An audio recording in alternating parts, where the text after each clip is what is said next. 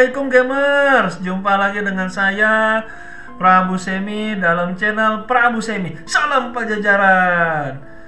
Alhamdulillah guys, sekarang sudah malam Jumat lagi. Kita bertemu lagi dalam vlog series dunia lain seperti yang sudah pernah saya katakan di awal di dalam vlog series dunia lain ini saya sekali lagi saya mengatakan saya tidak memaksa kalian untuk mempercayai apa yang saya ceritakan untuk meyakini apa yang saya ceritakan. Tetapi semuanya ini saya bikin vlog series dunia lain ini semata-mata. Niat saya adalah agar kalian juga bisa menyadari bahwa dunia lain itu ada. Percaya tidak percaya suka tidak suka kita memang hidup selalu berdampingan maka dari itu, saya berbagi cerita apa yang menjadi pengalaman saya dan ini adalah fakta. Seperti itu. Oke okay guys, di episode sebelumnya saya sudah bercerita kepada sahabat, akhirnya alhamdulillah saya berhasil disembuhkan. Jin sampah juga sudah mati, dia kembali ke alamnya. Setelah itu juga saya kemudian berusaha untuk mendekatkan diri kepada Allah saya berlatih berpuasa alhamdulillah sejak saat itu saya menjadi kuat dalam berpuasa. Tidak lagi bolong-bolong dan sebagainya. Kemudian saya juga jadi lebih rajin sholat dan sebagainya.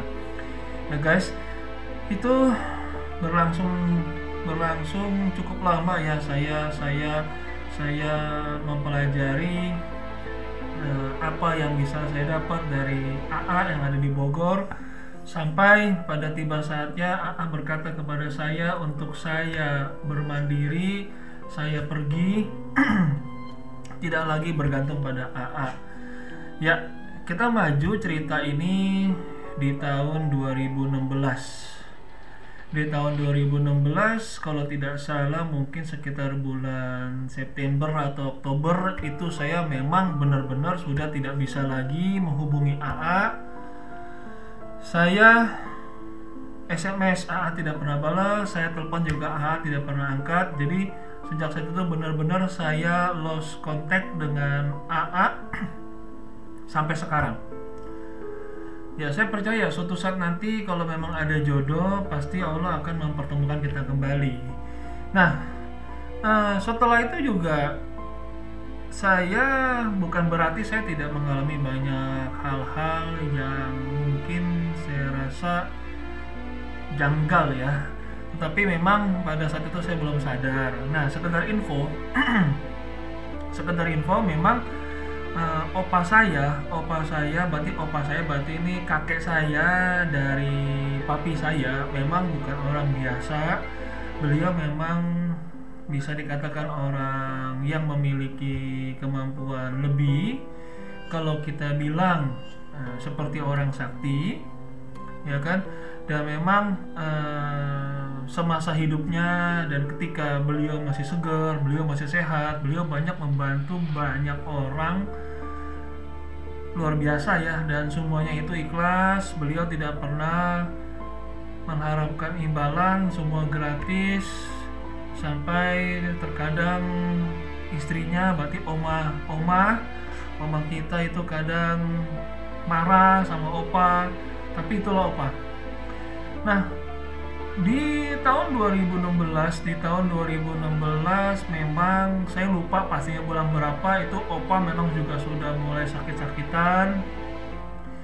Dan memang juga dokter bilang umur opa juga sudah tidak lagi panjang tinggal menunggu waktu saja. Ya dan pada akhirnya kita sebagai cucu sebagai anak menantu ya kan semua berusaha untuk care berusaha untuk menemani opa di hari-hari terakhirnya. Ya kan? Sampai pada akhirnya opa menghembuskan nafas terakhir di awal Desember 2016 dan di sinilah dimulainya banyak kejadian-kejadian yang menurut saya janggal dan itu saya alami uh, setelah kejadian yang waktu itu ya saya kena santet saya diguna-guna kemudian saya pada akhirnya bisa mendekatkan diri kepada Allah alhamdulillah ya kan? Nah jadi pada pada hari di mana opa saya meninggal itu saya dalam perjalanan dari rumah saya ke Jakarta ya kan?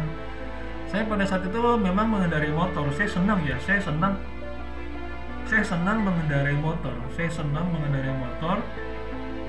Ya. Saya mengendarai motor. Pada saat itu saya berpikir ya saya belum mau datang ke rumah opa.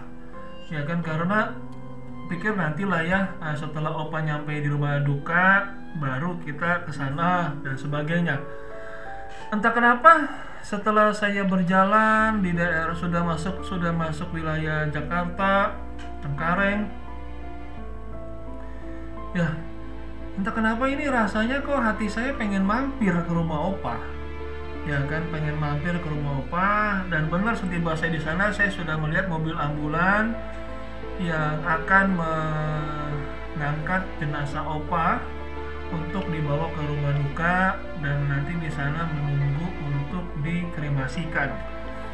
Uh, opa saya meninggal uh, sebagai seorang Nasrani karena memang keluarga saya campuran ya ada yang Nasrani, ada yang Muslim. Kita kita kita menerima dengan ikhlas setiap perbedaan yang ada karena kita yakin bahwa perbedaan itu adalah anugerah yang Allah berikan untuk kita agar kita bisa saling melengkapi satu dengan yang lain. Nah, nah ketika saya sampai ke rumah opa, di situ saya melihat opa saya sudah terbujur kaku. Kemudian saya kepikiran, saya bacakan Al-Fatihah setelah saya baca Al-Fatihah, saya kemudian mencium kening opa saya sebagai tanda perpisahan. Semoga opa tenang di sana. Ketika saya mencium kening opa saya, tiba-tiba saya merasa lemas seketika. Saya merasa lemas seketika, saya tidak tahu apa yang terjadi, tapi faktanya saya lemas. Saya lemas. Seketika Nah, pada saat itu saya tidak berpikir apa-apa lagi. Ah, ya sudah, saya lupakan. Kemudian pada saat itu papa saya bilang, ah, Sam ini papi ada beli gado-gado, kok bawa pulang ke rumah, mami mungkin belum makan. Saya bawa gado-gado, dibungkus gado ditaruh plastik, saya saya sangkutkan di di di apa di gagang motor tuh ya. Kan biasanya motor kan ada ada ada apa ada pegangan buat kita naruh barang ya. Saya taruh di situ saya jalan saya jalan. Di tengah jalan itu tiba-tiba saya ngeliat plastik gado-gado saya jatuh ke bawah. Seketika saya mikir gimana caranya ini plastik gado-gado bisa jatuh ke bawah? Kan itu kan itu gagang kan ngait ya? Gagang kan ngait. Ya kan kalau dia ngait dia nggak mungkin dong bisa jatuh. Kalau kalau bukan diangkat dulu kan diangkat ke atas baru bisa jatuh kan. Itu saya bingung. Tapi pada pada saat itu saya nggak saya saya nggak mikir nggak mikir macam-macam udah saya jatuh di eh, saya kan naik Scoopy ya. Saya naik Scoopy jatuh di di di, di, di apa di injakan Scoopy Nah, saya langsung me, me, apa, menepi, saya angkat, saya, saya taruh lagi di, di gagangan motor itu ya yang buat naruh barang. Saya nggak mikir-mikir panjang lagi. Ya udah saya jalan, pulang kita makan. Singkat cerita, akhirnya uh, opa kita setelah beberapa hari juga akhirnya opa juga dikremasikan. Alhamdulillah opa juga sudah bisa tenang di sana. Uh, pada saat di hari-hari terakhir menjelang tutup peti itu aku melihat muka opa sangat cerah ya. Sangat cerah rasanya damai opa di sana. Alhamdulillah. Nah, nah setelah opa uh, meninggal beberapa minggu kemudian nah, saya mendapat kabar dari adik saya bahwa adik saya pergi. Dan adik saya pergi menemani salah satu temannya ke orang pintar ya kan? Uh, saya nggak tahu lah temennya adik saya itu mau ngapain di orang pintar cuman adik saya hanya menemani saja ya kan? Nah nyampe di sana itu orang pintar nggak tahu bagaimana ngomong sama adik saya. Kamu akan kedatangan batu peninggalan daripada salah satu anggota keluargamu yang baru meninggal. Itu bukan batu biasa. Ada saya bingung. Ada saya bingung. Ada saya bingung. Kemudian ada saya cerita ke saya. Ya saya tambah bingung. ya saya tambah bingung. Saya nggak saya nggak ngerti apa-apa saya nggak paham apa-apa. Diceritakan begitu ya saya bingung. Nah kemudian ada saya itu penasaran dicari-cari nggak ada. Ya dicari-cari nggak ada. Makin dicari nggak ada ya saya sih nggak ikut cari ya pada saat itu. Saya mah santai saja. Ya kan? Sampai pada akhirnya kalau nggak salah bulan Januari ya Januari 2017 Januari 2017 eh, papa saya datang ya kan bawa sepasang ya. Eh kalau kita bilang sepasang sih nggak bisa juga ya. Jadi ada lebih tepatnya dua batu lah. Papa saya papi saya datang bawa dua batu satu batu warna hijau lumut kecil. Satu batu berwarna coklat gitulah ada matanya. Ya kan? Nah terus papi bilang Sam papi bawa papi papi bawa papi bawa batu nih uh, peninggalan opa. Aku kaget. Iya soalnya kemarin itu oma ada ngasih ke kuku ya kan jadi ini adiknya papi ada ngasih ke kuku adiknya papi nah kemudian Nah, kuku kan simpen. Nah, ketika kuku simpen, kuku tuh kuku tuh dimimpin opa gitu loh. Kuku dimimpin opa dan kuku ketakutan, ya kan? Akhirnya uh, kuku berpikir untuk memberikan batu itu ke ke papi. Papi itu kan kakaknya ya, kakaknya, ya kan? Karena memang sejak dulu ini kan uh, kuku ini kan kuku kuku kita panggil kuku ya berarti kan kalau kalian mungkin bibi ya ya kan nah uh, tahu opa seperti apa ya kan dan dan dan dan dia tahu opa punya kelebihan dan memang kuku kuku atau adiknya papi ini memang memang takut sejak sejak kecil sampai sekarang ya. Makanya dia ketika dimimpin opa gitu dia akhirnya takut ya. Akhirnya dia menjerahkan ke papi. Ya dan papi itu bawa ke rumah dan papi bilang ke aku ya kan Sam ini papi ada batu kau mau nggak? Nah aku melihat ya aku melihat aku melihat nggak tahu kenapa aku tertarik dengan yang kecil yang warna hijau lumut ya kan? Ya aku pikir dikasih ya ini juga salah satu peninggalan daripada opa. Ya aku mencoba menghargai bagaimanapun opa adalah kakekku. Ya aku sangat menyayanginya. Papi kasih aku ambil yang hijau lumut kecil. Nah kalau yang coklat ada mata. Ya kalau yang coklat ada mata. Itu diambil sama sama adikku. Nah kemudian aku simpan ya aku simpan itu batu kecil yang warna hijau lumut itu aku simpan di tas. Dan aku tidak pernah apa-apakan tidak ada niat untuk apa-apa tidak. Aku coba taruh aku anggap itu adalah peninggalan daripada opa ya yang kalau dikasih ya kita hargai kita simpan. Nah di sinilah dimulai banyak hal-hal yang yang kurasa janggal. Ya kan ketika aku lagi sendiri ya kan aku seperti kayak mendengar suara gitu loh. Ya kan suara memanggil. Terus juga ketika aku lagi sholat dan selesai sholat rasanya tuh kayak ada yang ikut sholat. Rasanya tuh kayak ada yang ikut sholat gitu loh. Padahal jelas itu aku sendiri. Terus kemudian seperti ada juga yang mengatakan tolong cincinnya dipakai. Ini adalah peninggalan opa. Nanti ini suatu saat atas atas izin Allah ini bisa bermanfaat untuk kamu.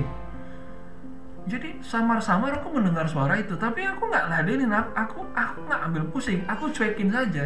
Aku cuekin saja aku nggak ambil pusing.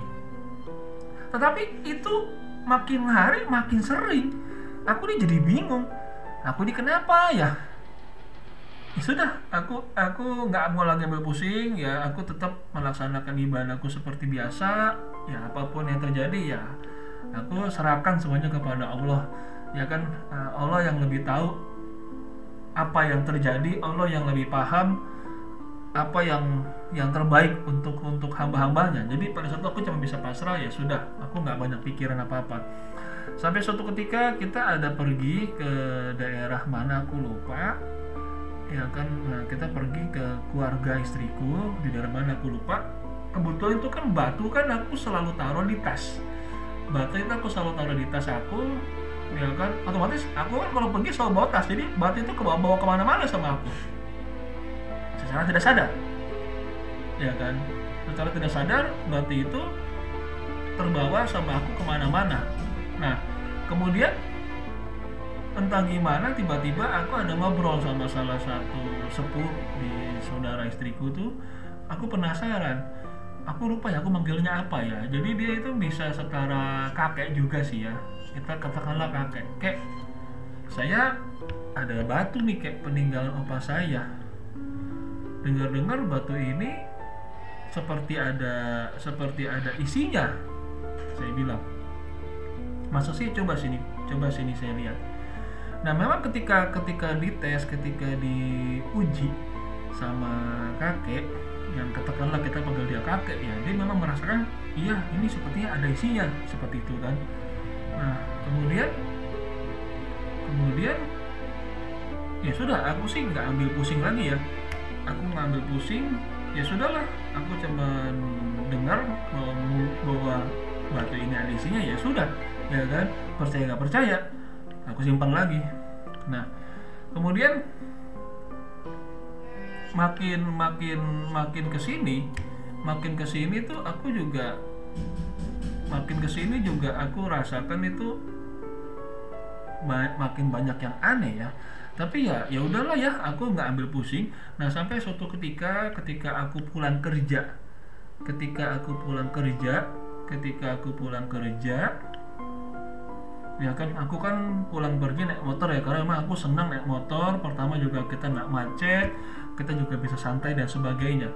Nah ketika aku pulang kerja itu memang sudah malam ya sudah malam aku berasa capek. Aku berasa capek aku agak ngantuk aku agak ngantuk. Ya kan? Aku naik motor itu ngantuk ya. Aku naik motor itu ngantuk. Nah aku benar-benar tertidur sesaat ketika aku sedang mengendarai motor. Astagfirullahaladzim. Ya kan? Itu kan kita kan ngegas ya. Kita ngegas jalan ya. Kita gas kita jalan seperti biasa. Entah kenapa tiba-tiba ini tanganku mencet rem tanganku kiri kanan mencet rem dan aku terbangun. Itu di depan udah angkot. Jadi kalau tanganku itu nggak gerak nggak mencet rem kiri kanan aku udah nabrak angkot. Astagfirullahaladzim. Di situ aku nyebut berulang-ulang astagfirullahaladzim astagfirullahaladzim alhamdulillah ya Allah aku kaget. Terus aku bertanya dalam diri ini gimana caranya? Ketika aku sedang tidur dan aku tidak sadar tanganku bergerak sendiri memencet rem. Sehingga alhamdulillah aku bisa selamat dan tidak nabrak. Di situ, di situ. Awal-awal tuh aku aku nggak banyak pikir ya. Awal-awal tuh aku nggak banyak pikir. Aku cuma bersyukur bersyukur dan bersyukur alhamdulillah aku selamat tetapi makin makin ke sini makin ke sini ya kan? Kejadian itu berulang. Ketika aku capek kembali aku ngantuk itu berulang. Dengan dengan dengan dengan yang mirip-mirip. Dengan yang mirip-mirip kejadiannya ya. Jadi ketika aku hampir nabrak tanganku ngerem aku tertidur aku bisa ngerem sendiri untuk bangun dan sebagainya gitu loh. Aku merasa alhamdulillah aku yakin bahwa ini adalah perlindungan daripada Allah yang menjaga aku. Tetapi aku merasa ada perantara ini yang Allah kirim untuk membantu menjagaku sehingga aku bisa selamat di beberapa kejadian ketika aku ngantuk dan sebagainya. Ya aku bersyukur alhamdulillah. Tapi aku merasakan ada sesuatu di sini akhirnya sampai pada suatu kesempatan karena juga semakin banyak hal-hal yang dirasa itu aneh dan memang ada sesuatu di dalam batu itu yang ingin disampaikan ke aku. Akhirnya aku lupa pastinya bulan berapa. Kalau nggak salah itu kalau nggak salah itu bulan Juni ya. Kalau nggak salah itu bulan Juni 2017 ya antara antara bulan Mei Juni lah. Antara bulan Mei Juni 2017 akhirnya aku memutuskan untuk memakai cincin itu batu itu aku jadikan cincin aku pakai di tanganku sebagai suatu perhiasan lah ya. Ya kan aku aku mencoba berdamai dengan dengan dengan hatiku ya kan? Aku memakai batu cincin itu di jariku. Dan aku anggap itu adalah suatu hal yang biasa tidak ada yang istimewa. Ya kan? Aku coba pengen tahu ya kan? Ada apa sih seperti itu? Oke okay, guys. Pada episode kali ini kita bercerita sampai pada titik itu. Nanti di episode selanjutnya saya akan bercerita apa yang terjadi dengan batu cincin itu setelah saya gunakan dan saya pakai ya. Gunakan di sini bukan berarti kita musrik ya. Gunakan di sini artinya saya memakainya sebagai suatu perhiasan saya pakai di tangan saya sebagai cincin cincin batu kan seperti itu ya. Nanti di episode berikutnya berarti di minggu depan saya akan ceritakan apa yang terjadi ketika saya setelah ketika saya memakai batu cincin itu di tangan saya. Seperti itu guys. Oke guys. Ini adalah uh, sedikit cerita-cerita keanehan-keanehan yang saya alami di awal-awal tahun 2017 sepeninggal opa saya ya kan saya sendiri pada saat itu masih belum paham tetapi ya melihat keadaan-keadaan yang aneh fakta-fakta yang telah saya ceritakan tadi akhirnya saya mencoba berdamai dan saya gunakan dan saya pakai batu cincin itu di tangan saya sebagai perhiasan tidak lebih daripada itu karena Tuhan saya cuma satu yaitu Allah Subhanahu wa taala. Tidak ada Tuhan selain Allah bagi saya. Ya kan?